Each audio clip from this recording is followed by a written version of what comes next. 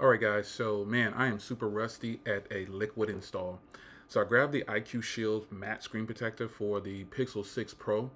And I, if you check my channel, man, I was doing these way back in the Galaxy S line a long time ago. And I thought this would be a cakewalk. it definitely wasn't.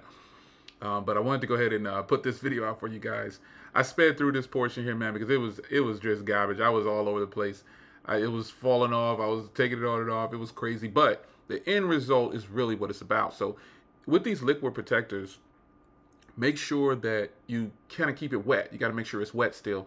Because if you mess up, you can just re-wet it or, you know, make sure it's, it can't be too wet, but it needs to be a little bit wet. So I sped up this portion here because, you know, I, I started to realize, oh, you're rusty at this.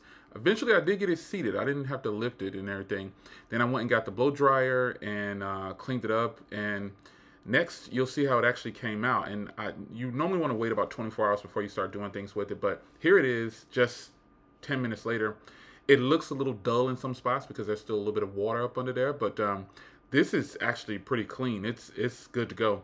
It's case friendly. It doesn't go all the way around the curve, but it is definitely case friendly. I'll put on a case here in just a second so you can see what I mean. But I'm, I'm using the official Google case when I put it on right here.